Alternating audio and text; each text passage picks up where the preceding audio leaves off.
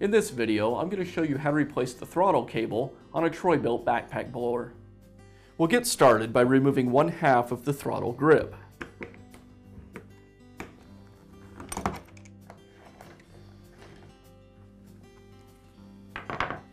Now remove the screw that secures the throttle cable to the grip.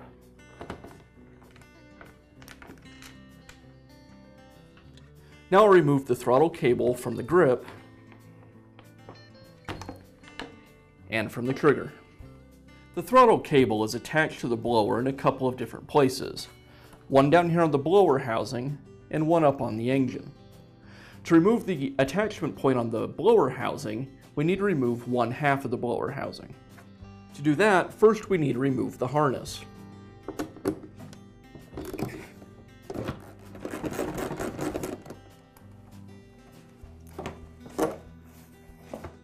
Now remove the screws that secure the two halves of the blower housing together.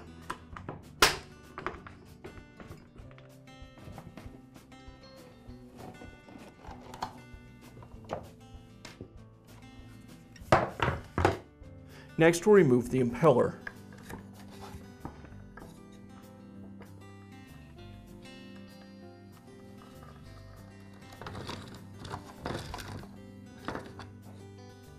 Now we have access to the throttle cable clamp.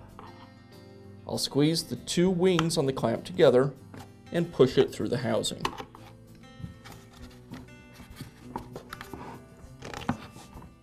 Next I'll remove the air filter cover, the air filter, and the air filter base.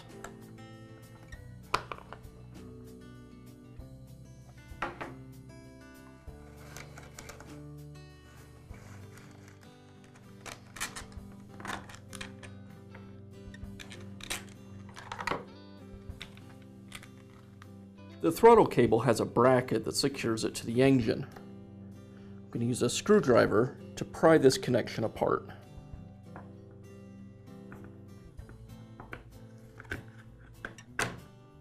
The throttle cable and the wiring harness are both routed through this piece of wire loom.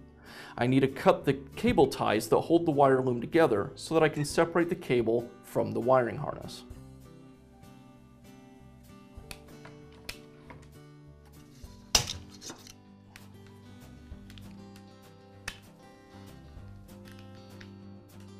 And now I can pull the throttle cable out of the wire loom.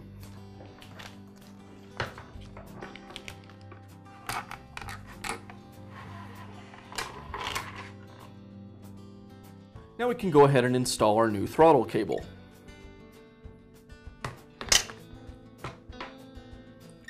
First I'll snap the retaining clip back onto the cable. Now I'll thread the cable through the blower.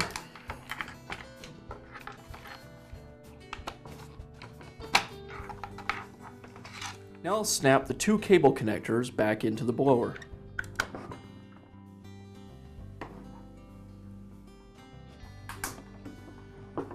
Now I'll slide the throttle cable back into the wire loom.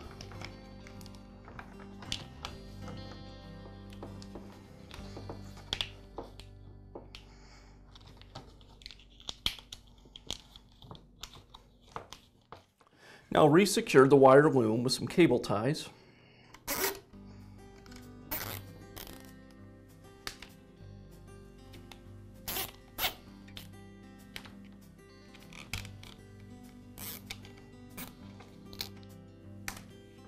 Now I'll reattach the throttle cable to the carburetor and secure the carburetor to the engine with the air filter base.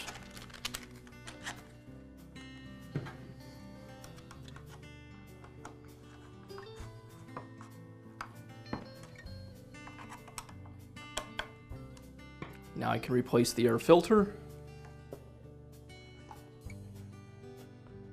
and the air filter cover. Now I can reinstall the impeller. You'll want to use a little bit of Loctite on the impeller screws so they don't work their way out.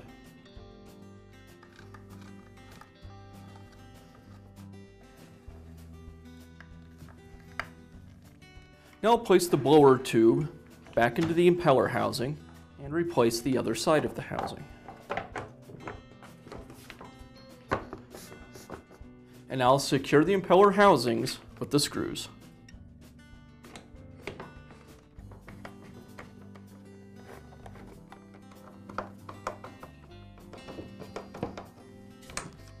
Now reinstall the harness.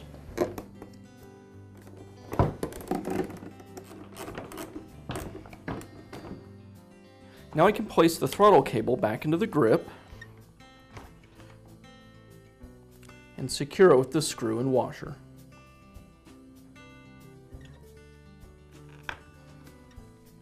Now reattach the throttle cable to the trigger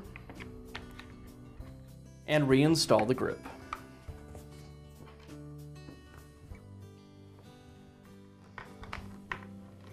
And I'll finish up by securing the throttle cable to the blower tube with a new cable tie.